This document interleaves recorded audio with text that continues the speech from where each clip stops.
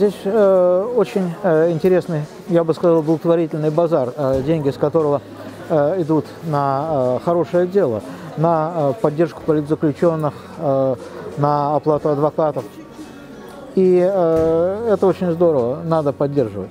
Мемориал нельзя запретить. Э, то есть формально это может быть э, как-то проведено, но э, по сути э, это несущественно. Но нельзя этого допускать, конечно. Причем э, и э, самые высшие власти России э, говорили раньше, что да, мемориал очень важен. Ну, он действительно очень важен. И вот эта инициатива «не знаю кого» по запрещению мемориала, мне кажется, безобразием.